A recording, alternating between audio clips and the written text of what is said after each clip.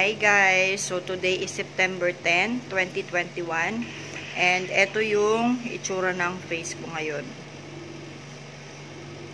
Ang daming acne scars, ang daming acne.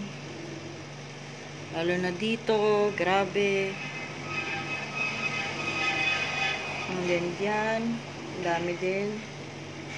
Nakikita nyo halos.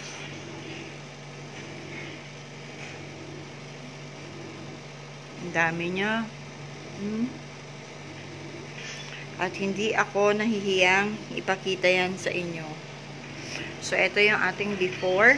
Kasi, ngayon, um, magti-take na ako ulit ng supplements for the skin. And, ito yung aking um, proof na talaga, na kung talagang nag-work yung supplements na tinitake. So, ayan. Dami niya halos. Ayan, oh. Ang sakit. Namamagayan siya halos, guys. Tinigyawat, tinigyawat na naman ako dahil dahil sa poor diet, um, sa stress, sa puyat, at nag-stop ako sa mga supplements kong iniinom ko dati.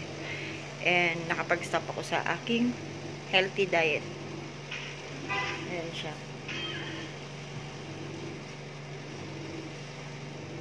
Ang dami, ba? So, hopefully, mag-clear natin yan. So, see you in a few months.